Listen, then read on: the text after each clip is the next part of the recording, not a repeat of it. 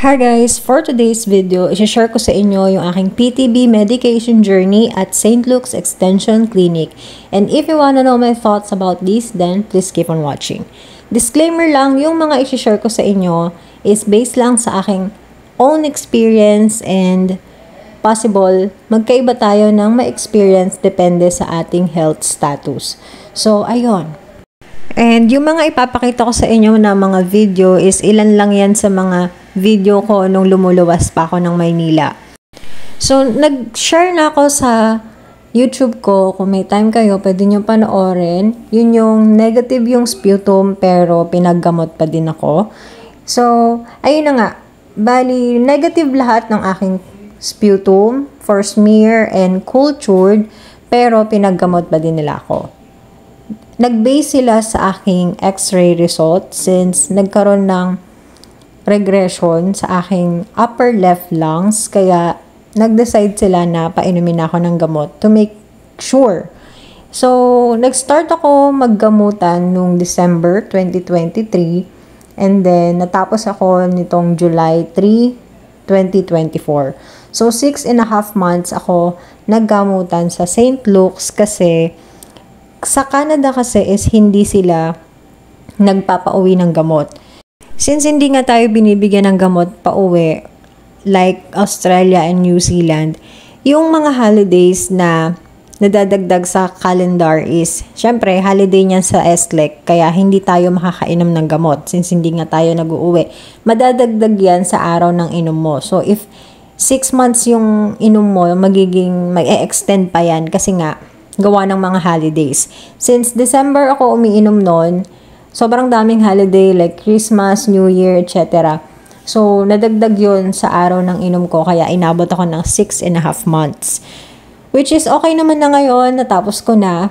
And sa awa ng Diyos, dahil mabilis lang naman yung 6 months. Pero syempre, nakaka-drain siya. Sobrang daming isipin, bukod sa madaming isipin, sobrang gastos, sobrang nakakapagod kasi maaga kang gigising para bumiyahe. Tapos, iinom ka lang ng gamot. So, yun. And, binigyan pala nila ako ng choice kung sa labas ako magagamot or sa SLEC. Pero since nahirapan akong humanap ng doktor sa labas na malapit dito sa Laguna, is hindi nila tinatanggap. Parang nahihirapan sila kasi marami daw requirements na hinihingi si SLEC. And then, lumapit naman ako sa public. Hindi sila nagbibigay ng gamot kasi nga, negative naman daw yung sputum ko, bakit daw ako iinom ng gamot.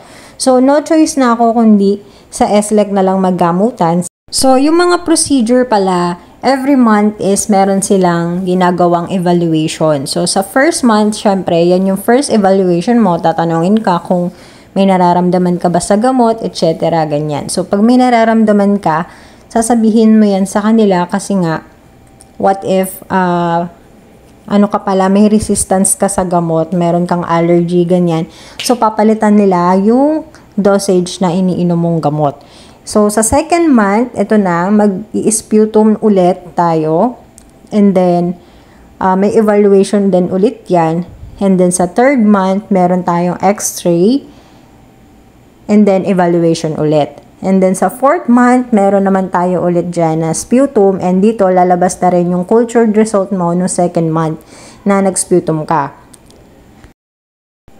Then after nun, sasabihin kung negative or positive, ganyan. Pero usually naman yan, since nagiinom ka na, negative na yan. Pero it depends, case to case basis pa din yan. Pero sa case ko kasi, ever since, negative naman yung mga sputum ko.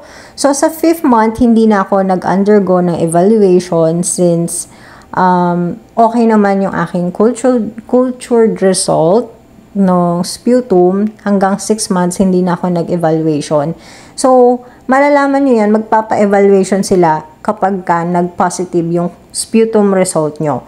So, last evaluation ko is nung matatapos na ako. So, may x-ray pala ulit kapag ka matatapos na in the 6 month, in, sa 6 months nyo. So, ako kasi is July 3 ako natapos. Nag-x-ray ako is July 2. So, kinabukasan, evaluation ko yon and doon na din uh, sasabihin na okay ka na, cured ka na, and then ibibigay nila sa inyo yung booklet na araw-araw yung dala. kasi nandun yung certificate na pipirmahan ng doktor. Kaya mahalaga, ingatan nyo yan, iipit nyo sa folder or sa matigas na bagay para hindi malukot, hindi madumihan. So, ayun. Sa ngayon, July 24 ko to nire-record and wala pa akong update sa IRCC bukod sa pass na yung aking medical. So, ibig sabihin, uh, nabasa na nila and magiintay na lang ako ng passport request and syempre, i-update ko ulit kayo kapag ka meron akong update from IRCC or sa aming agency. So, ayun lang. Alam nyo, sobrang stressful nito. Alam ko kung pinapanood mo to, siguro isa ka rin sa pinagsputum or pinaggamot. Pero alam ko kaya mo yan. Ano lang to, uh, Pagsubok lang to and malalampasan din natin to and sa mga susunod na buwan, lilipad na din tayo papunta sa bansa na gusto natin or sa Canada. So, ayun. Alam ko, sobrang haba na nitong video na to and tatapusin ko na din and kung gusto nyo or kung meron man kayong mga tanong na hindi na sagot, please let me know. Gagawan ko yan ng video or sasagutin ko yan sa comment section. Please mag-comment lang kayo kung ano yung mga katanungan nyo. So, ayun lang naman. Please don't forget to like, share, comment, and subscribe to my page or video. So, ayun lang naman. See you on my next one. Bye!